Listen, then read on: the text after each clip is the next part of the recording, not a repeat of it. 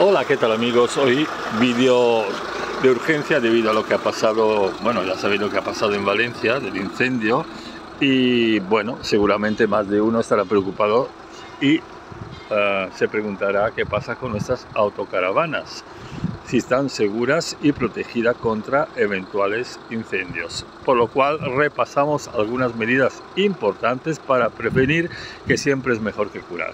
Vamos a ver, aquí tenemos las bombonas que en viaje tienen que estar cerradas, a menos que tengan uh, un, sistema que es específico para poderla eh, tener, o sea que corta el gas en caso de cualquier problema, pero en este caso, en nuestro caso, por ejemplo, aquí tenemos unas pegatinas que nos dice que la presión del gas tiene que ser 30 milibar y aquí debajo nos pone de apagar la bombona.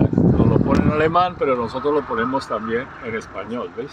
Terminantemente prohibida viajar con la canchofa de gas posición abierta. ¿Por qué? Porque este vehículo que está en alquiler, pues las personas, hay muchas personas que no están acostumbradas a este tipo de uso y en casa puede ser que tengan o no tengan bombona entonces no saben exactamente cómo funciona el tema. Está prohibido por ley, si os para la policía os pone una multa, si controla la bombona está abierta. Os puede poner una multa. Y está, es peligroso, realmente es peligroso. Bueno, no por el escape de gas, porque es bastante raro de que el gas se escape. Además, esta zona que tenéis aquí, como en todas las demás autocaravanas, es una zona aireada, o sea, no es una zona estanco total, hay huecos que están debajo de las bombonas que hacen que la bombona, o sea, esta zona esté, pase el aire, ¿no?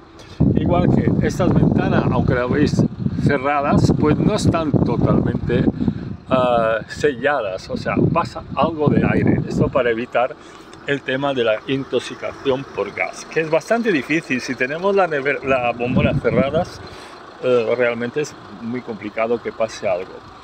Pero vamos a ver, posibles, eh, para, empezar, deciros de que aparte de cerrar la bombona, también aquí tenemos, aquí o en otras partes, tenemos otras manoplas para que eh, podamos interrumpir el paso del gas a los varios aparatos que lo usan. Una es para la agua caliente y calefacción, la otra es para la bombona de gas, para la mm, cocina y la otra es para la nevera, que son en este caso, en este vehículo, todos aparatos que funcionan alimentados por gas.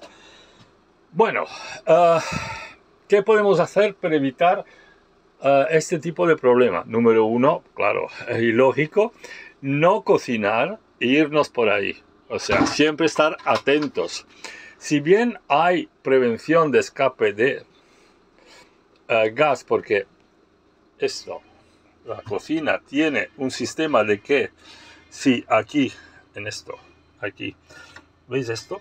Esto, si no hay mm, calor, pues se apaga el fogón y no sale el gas. Es una prevención a escapes de gas, lo cual está muy bien, pero claro, si eh, nos vamos y veis aquí, por ejemplo, esto tiene una protección para que si pasa alguna cosa no pase aquí, porque claro, esto es de mm, tela, ¿no? Esa, toda la, zona del comedor, pues que está hecha con tela, en su mayoría están hechas así y es inflamable, como pueden ser las cortinas y otras cosas. Por lo cual, ojo, y cuando se cocina, pues estar atentos y ya está, es la única cosa, ¿no? No despistarse.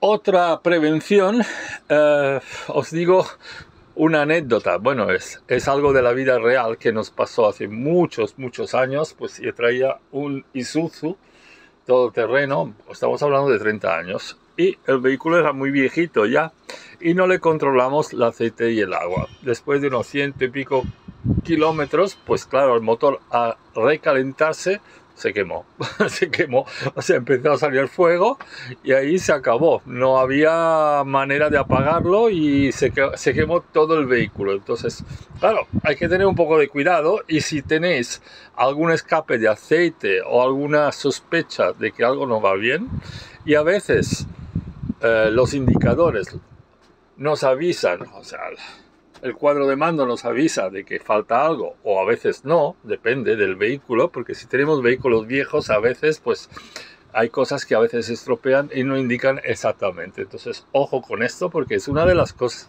que te, tenéis que mirar, no tener escape de aceite o cosas que al final puede provocar una sobre calefacción, o sea, calentar demasiado la, parte mecánica, una fricción y, quemarse todo, quemarse el vehículo. Bueno, otro tema, ¿dónde hay gas? O sea, ¿dónde hay llama libre? Cuando usamos la nevera, más de una vez nos hemos encontrado personas que aquí están las rejillas y aquí debajo tenemos lo que es uh, piezo eléctrico y una pequeña llamita que hace funcionar el vehículo, nevera a gas. Esta pequeña llamita está, está protegida por estas rejillas y en principio no debería apagarse con el viento.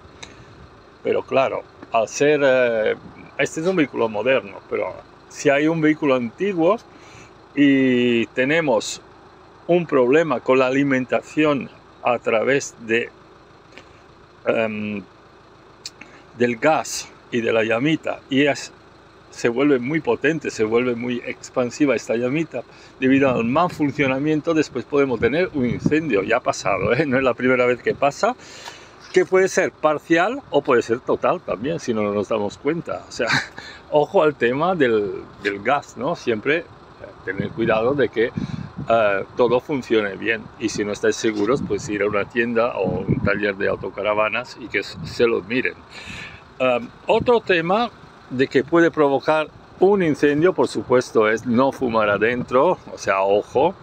Y después, otro mm, pequeño o no tan pequeño problema es que mm, a veces la nevera se calienta demasiado por el clima exterior, eh, estos veranos están siendo muy calientes y a 50 grados, pues claro, una nevera se, puede, se le puede quemar las centralitas, puede ah, calentarse demasiado y quemarse. Y claro, mm, no sabemos hasta qué punto puede mm, afectar todo lo demás. O sea, el problema viene cuando no estamos cerca de la autocaravana, porque si estamos cerca, pues nada, lo apagamos o encontramos soluciones, pero si, estamos, si nos vamos y pasa esto, tenemos un problema.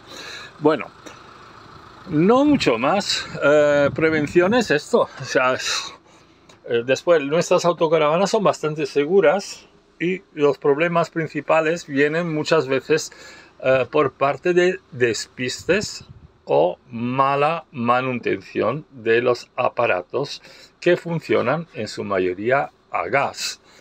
O confiarnos sobre todo las personas que no o sea, después de un tiempo de usarlo, este vehículo parece una pequeña casa, pero claro, en casa tenemos mm, paredes en cemento o tenemos otro tipo de paredes. Y aquí todo es material bastante plástico y bastante de tela, en fin, material que es fácil de que le afecte los incendios. Eh, con estas simples medidas yo creo que tenéis más que suficiente para que mm, podáis prevenir cualquier tipo de problema. Eh, cualquier cosa comentarla y gracias por escucharme. Espero que os sea de ayuda y hasta la próxima.